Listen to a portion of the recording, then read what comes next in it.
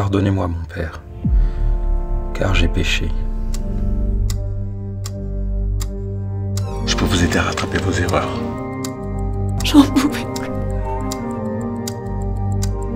Mais que vous ont-ils forcé à faire? Nous savons tous les deux quel genre d'opération vous avez pratiqué.